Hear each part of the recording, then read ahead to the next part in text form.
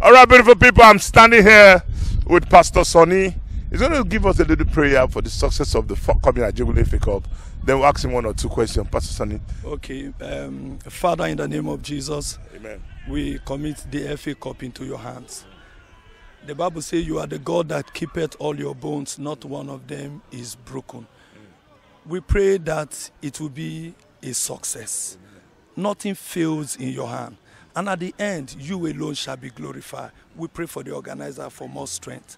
In Jesus' mighty name we pray. Amen. Amen. All right, Pastor Sonny, you're out here to train this afternoon. Yes, yes, yes, of course. All right, how do you see the Ajegule FA Cup?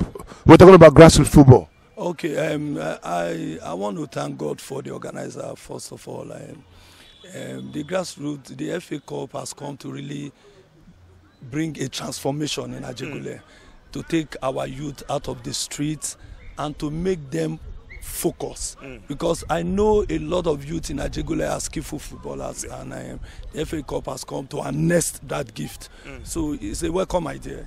All right, you know Ajegunle is home of raw talent. Do you think the FA Cup can bring back these raw talents and discover them? Yeah, of course, of course. I, I think um, uh, the Bible says, "By their fruit we shall know them," and we've seen that th- truly the FA Cup has tremendously make a colossal mark in Ajegunle. It's obvious. It's obvious. It's obvious. Interesting head from Pastor Sunny.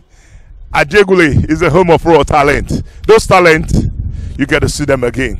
Sticky be luck. It's Ajegunle TV. God bless you. Pastor Sunny, Pastor Sunny.